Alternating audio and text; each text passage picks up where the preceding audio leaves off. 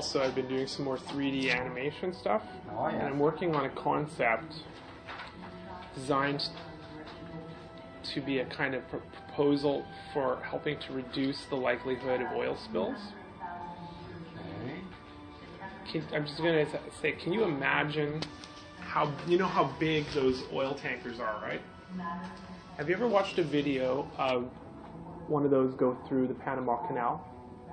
Uh, smidgens, smidgens. So basically, it's just a channel that's just a bit wider than the boat, I know, I know. and they have lock systems that are. It's longer, obviously, because the boat can go through.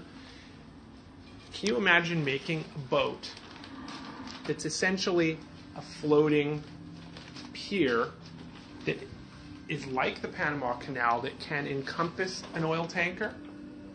It's Okay, bigger okay, right, than the oil right, tanker. Right, The oil tanker basically drives into it. They close the gate, Uh-huh. and it creates an envelope around the oil tanker. Gotcha, gotcha, gotcha. Yeah. So then that thing has its own propulsion system. Presumably, they could use hydrogen or like a Ballard s- system. And they could have an environmentally friendly propulsion system carrying an oil tanker safely through those passageways. And if something ran into the side of it, it's not going to run into the side of the oil tanker. Right. If somehow a bit of oil spills out, it contains all the oil inside of this thing Yes. and can safely be recovered. Well, the only problem is that it's very wild and woolly out there, so I don't know much about, you know, how hazardous it is, because now you're seeing all these huge storms.